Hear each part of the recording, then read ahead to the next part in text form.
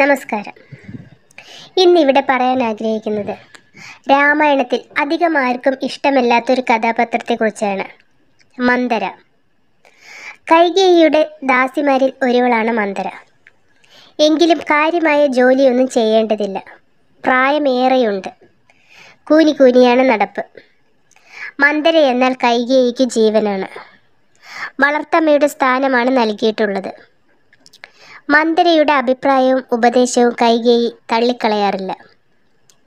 യുവരാജാവായി ശ്രീരാമനെ അഭിഷേകം ചെയ്യാനുള്ള ദശരഥ മഹാരാജാവിന്റെ തീരുമാനം പെട്ടെന്നായിരുന്നു.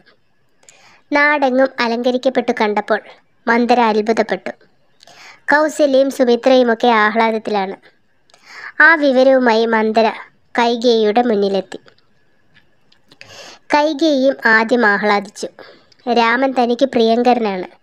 സർവദാ യോഗ്യൻ. സന്തോഷ വാർത്ത എത്തിച്ച മന്ദരയ്ക്ക് അവൾ സമ്മാനങ്ങൾ നൽകി. പക്ഷെ മന്ദര അത് വലിച്ചെറിഞ്ഞു. ബുദ്ധി കെട്ടവളെ നീ എന്തറിഞ്ഞാണ് സന്തോഷിക്കുന്നത്? ഇതിലൊരു ചതിയുണ്ട്. തിടുക്കപ്പെട്ട് എന്തിനീ അഭിഷേകം? രാമൻ രാജാവായാൽ അടുത്ത സഹായിയായി ലക്ഷ്മണനല്ലേ എപ്പോഴും ഉണ്ടാവുക? അപ്പോൾ അവരുടെ അമ്മമാരായ കൗസല്യയ്ക്കും സുമിത്രയ്ക്കും മഹാരാജ്ഞിമാരായി നന്നായി ഞെളിയ. ദശരഥന്റെ പ്രിയപ്പെട്ടവളെന്ന് പറയപ്പെടുന്ന നീയോ ദാസിയെ പോലെ കഴിയേണ്ടി വരും.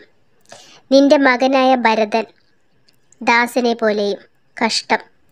ഇത്രയും കേട്ടപ്പോഴാണ് കൈകേയിക്കു കാര്യബോധമുണ്ടായത്. ഇനി എന്താണ് ചെയ്യുക? അവൾ ചോദിച്ചു. ആ ചോദ്യത്തിനുള്ള മറുപടിയും സൂത്രവിദ്യയും മന്ദര തന്നെ നൽകി. പണ്ട് ശമ്പരാസുരത്തിനെതിരെയുള്ള യുദ്ധത്തിൽ ദേവന്മാരെ സഹായിക്കാൻ. ദശരഥൻ പോയിരുന്നല്ലോ. കൂടെ കൈകേയും തേരിലുണ്ടായിരുന്നു. പത്തു ദിക്കിലേക്കും തേര് പായിച്ചുകൊണ്ടുള്ള ആ യുദ്ധത്തിൽ ഒരു ഭാഗത്തെ തേർചക്രത്തിന്റെ ഇളകിത്തെറിക്കാറായ ആണി സാഹസികമായി കൈ കടത്തി ഉറപ്പിച്ചു നിർത്തിയത് കൈകേയിയായിരുന്നു.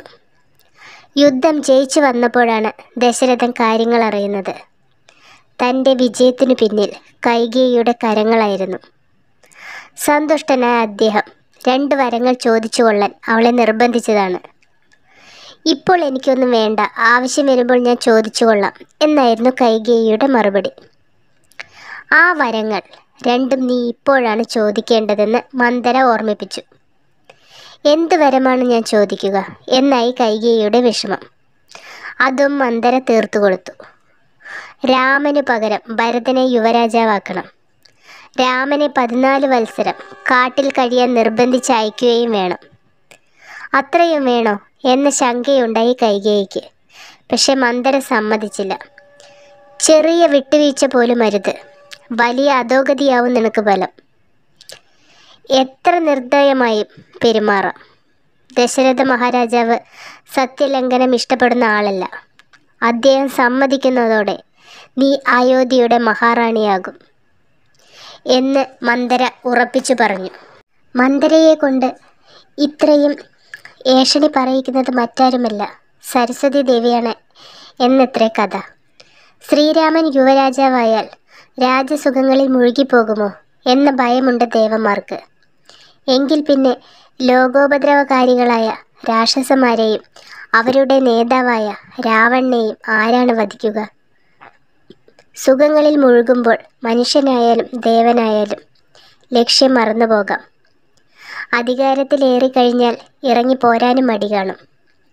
സ്വാഭാവികമായ ഈ ഭയം മൂലമാണ് ദേവന്മാർ പ്രത്യേകമായ യോഗം വിളിച്ചുകൂട്ടി സരസ്വതി ദേവിയെ ചുമതലപ്പെടുത്തിയത്.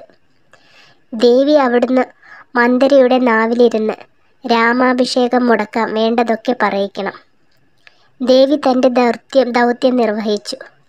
ദേവന്മാരുടെ സ്വാർത്ഥതയാണോ അതിനു പിന്നിൽ? ലോകരക്ഷയ്ക്ക് വേണ്ടിയുള്ള തീവ്രമായ ആഗ്രഹമോ? എന്തായാലും മനുഷ്യനായി പിറന്ന ഭഗവാനു ലോകത്തിനു മുഴുവൻ മാതൃയാകും വിധം അത് കഠിന യാതനകൾ സമ്മാനിച്ചു. മന്ദര അതിന് നിമിത്തമായി എന്ന് മാത്രം. എല്ലാവർക്കും നല്ലൊരു രാമായണ മാസം ആശംസിക്കുന്നു. നന്ദി.